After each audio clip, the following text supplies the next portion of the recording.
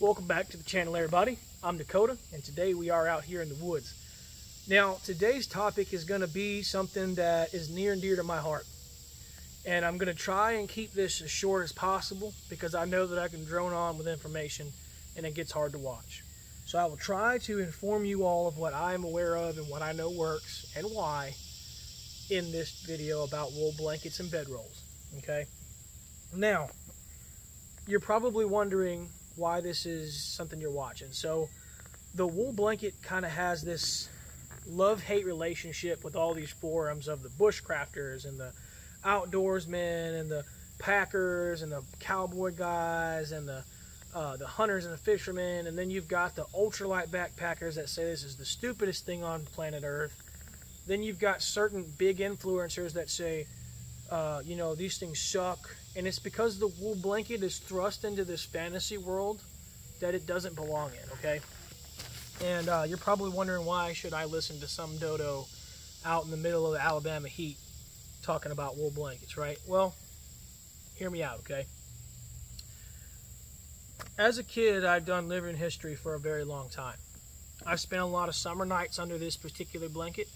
I've spent a lot of winter nights under this particular blanket, and I've spent a lot of time in every uh, climate in between that has been available to me, short of extreme cold. I have not spent extreme cold under this because I individually am not stupid enough to do so. If you have been put in that predicament, I hope it was not by choice, and I'm not trying to call you stupid. But I do want to state that that was a dumb decision to make. And that's because wool is getting this mantra that it is either useless or infinitely capable. We're going to end that here today and we're going to talk serious information about that wool, okay? 100% wool, depending on the way that it is woven, makes a big difference, okay? This right here is a, I'm going to say it's a mid, it's not very tightly woven, but it's also not very loosely woven, so it's kind of in between a very tight weave and a very loose, fluffy weave, okay? It's also not extremely lofty. This is designed for you to have something to wrap up in, in conjunction with a sleep system that the military used to give out, okay? This is designed to also be the municipal blanket.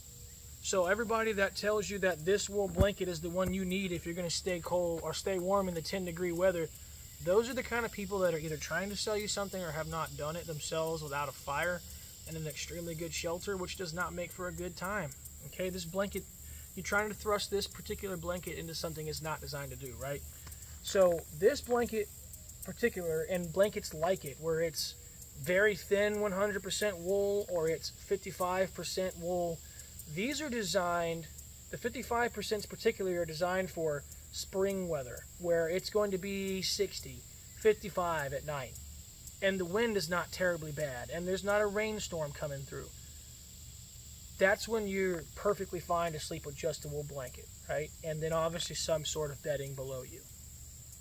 This is great if you are a cold sleeper and it is early summer where at night it still can get 65 degrees and that dew coupled with sitting on the bare ground will suck the heat out of you and you want a little bit of a thermal. That's great. Times like right now, it's 89 degrees in the middle of the day, but at nighttime it hits 65 and your body is, is acclimated to hotter temperatures.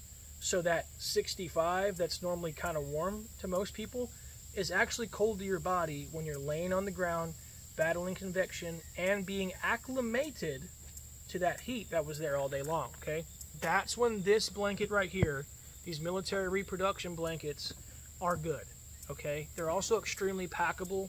As you can see, I can roll this guy up, and realistically, I could throw this on my uh, haversack or under a, you know, under my pack with relative ease, right? So this is easy to carry, or I could just make a little backpack out of it, throw it on the back, we're good to go, right?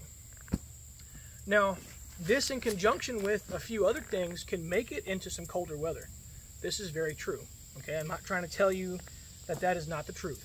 Okay, but I can tell you that it is going to be hard pressed for most individuals to take this into colder weather and be comfortable without so much extra work that it becomes kind of pointless to carry.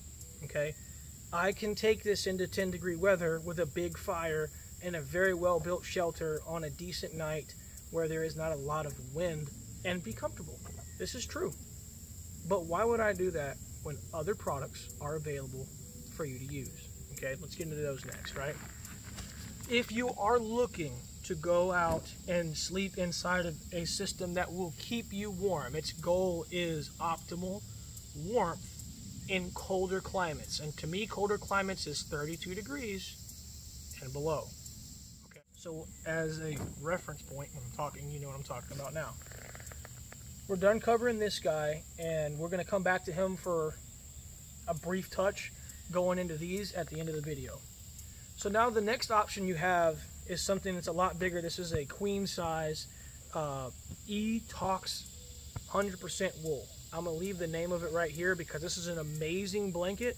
And if you live in the South, this is a four season blanket. If, well, this is a two season blanket. It'll cover you in our coldest months. In conjunction with this guy, no problem, okay? Let's get into that. Obviously, there are some caveats, so let's talk about it, okay? This 100% wool here is a lot. It's a massive step up from here. There is a reason why the price range is different you're getting a lot more blanket and it is 100% wool. It is a little bit more lofty. And when I say a little bit, I mean like a little bit, like two or three sheets of paper thicker. but it's noticeable and that makes a huge difference when you're talking about wool. Okay? Which means it's still very packable. I'm to go ahead and roll this guy up. We'll look at them side by side and you'll see the loft difference. We won't really necessarily see the loft difference, but you'll see the packability. And then I'll throw these guys out so that you can see the, the size difference as to what we're talking about. So there you go. That's your size difference right there, okay? Not very much, but this is going to make a massive difference to you. One, it has, again, it's 100% wool. Two, it's also bigger, so there's more product for you to wrap around yourself, which means you get two layers, okay? Now, we're going to touch base on that as well here in a moment before we move on.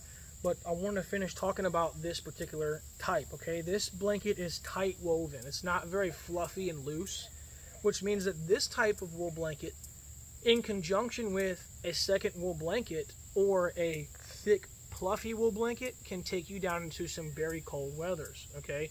Like that 32 to 10 degrees, comfortably, without the need of a fire. That's what we're looking for. We're looking to smooth it. If I have to get up every hour and rebuild a fire, I'm doing something wrong as a woodsman. And that's just a, that's a hard fact for people to follow, but it's the truth. Okay? If you're in 20 degree weather, 30 degree weather, and you're feeding a fire all night long, your sleep system is failing you. 80% of your heat retention should come from your sleep system, and the other 10% should come from your clothing. The fire should be something that cuts that little bit of an edge off when it hits peak at nighttime if you need it.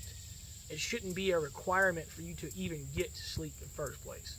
At that point, you failed, okay? Or you're in extreme cold. That's different, okay?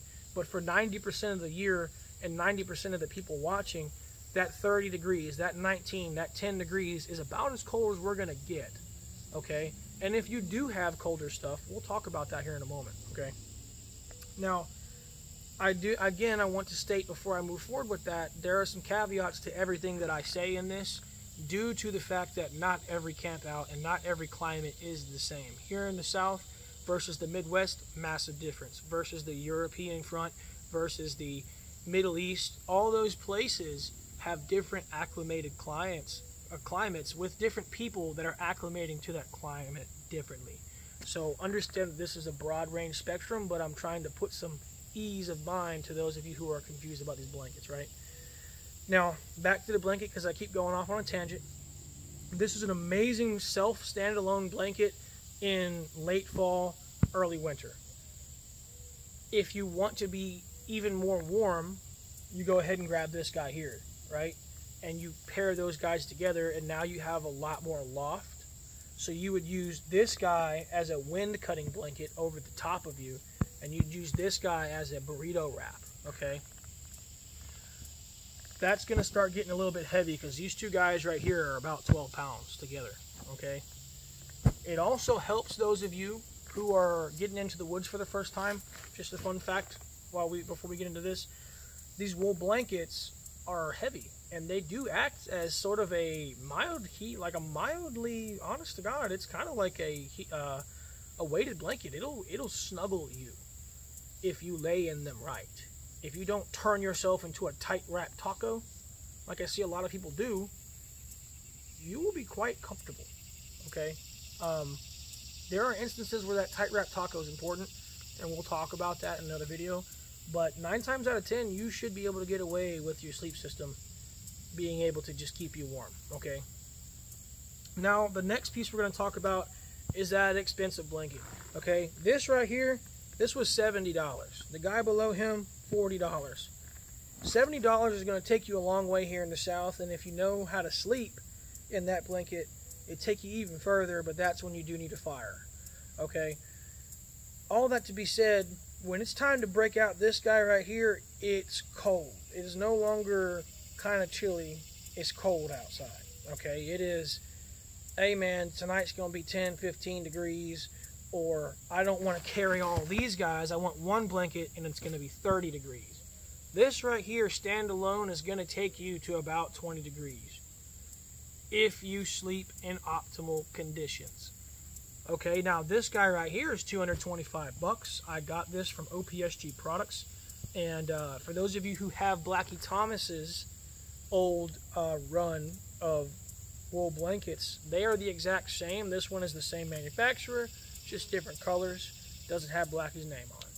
So you already have one of these if you if you have what I'm talking about. Now this guy here, as you can probably see, is real smushy. Okay, this guy has a lot of loft, and you will be able to go into very cold climates with this blanket. Okay. Now I do also want to make another statement when it comes to this. Okay. You have to understand that the colder you sleep, the better you have to dress. 30, 40 degrees, you can get away with just some regular clothing that you want to wear tomorrow morning after 30 degrees, you need to start thinking about merino base layers or fleece base layers, something that will allow you to wick moisture and then have the system rick it the rest of the way off of you while still retaining at least 90% of its heat. Okay. Now this big blanket is very, very costly and it costs about the same amount as a used military sleep system. It's also a lot heavier than a military sleep system. And it's also a lot harder to pack than a military sleep system. And I would highly recommend that you spend good money, at minimum, one of these Big Skies bedrolls, or a bedroll of some type, some kind of canvas cloth, or some kind of canvas, or something, oilcloth, I don't care, to protect these blankets from the elements and from eh, you know abrasion from the atmosphere, eh, from the environment around them.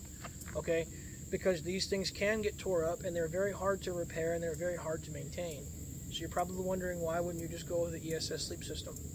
Well, this right here is what I would carry into an extremely cold weather outing. I want to talk to you about something that's going to be pretty cool. Brought it with me because I spent a lot of time in it.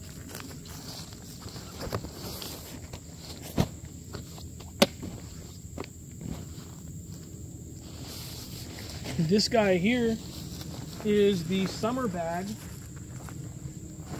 for the MSS sleep system or the ESS sleep system. I think it's the MSS. Could be ESS. Again, I'll leave that right there. Now, from the age of 10 until today, I would say I spent more time in this bag right here than I have in any wool blanket, than I have in any hammock, than I have in any tarp, than I have in any like what are those things called? Tents. I don't like I don't like tents. That's why I can't remember them.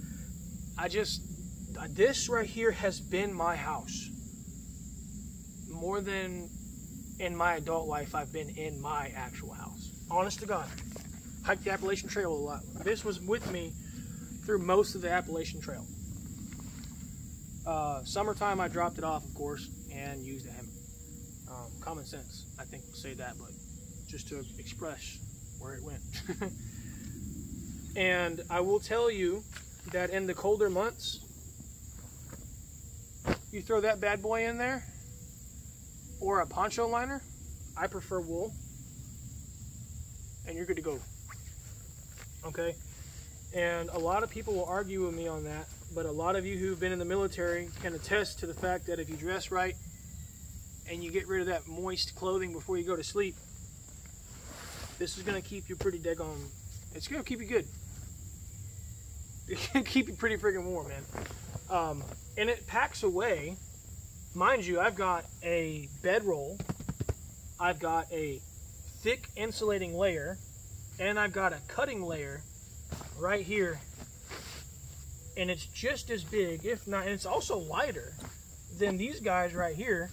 I've got a whole system, okay? So if you don't want to spend the $200 almost on a Big Skies bedroll or again a Helko Werk or a Bushcraft Spain, whatever you want to spend your money on. I'm not saying you have to spend money on this. It's just what I have to show you today.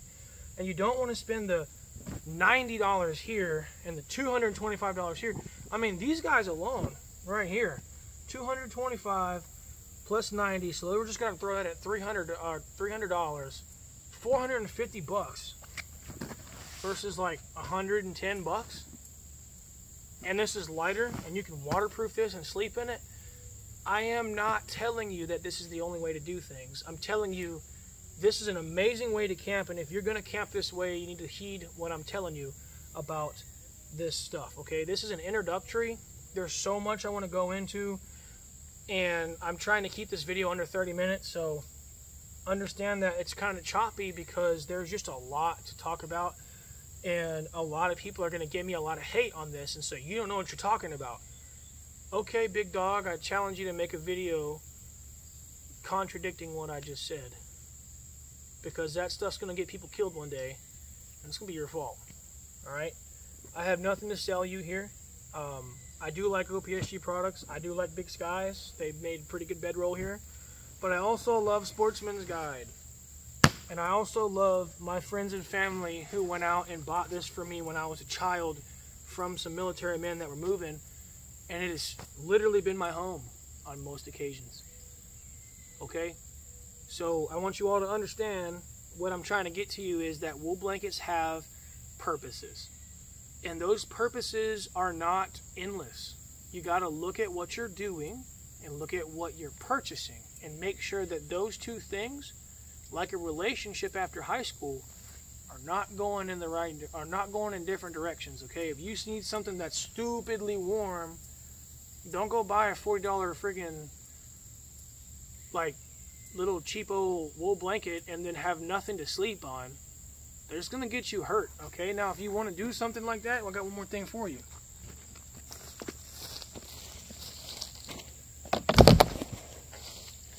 This guy right here, military surplus. Okay? This is just a sleep pad. It is an inflatable sleep pad, and someone's going to freak out and scream in bloody murder.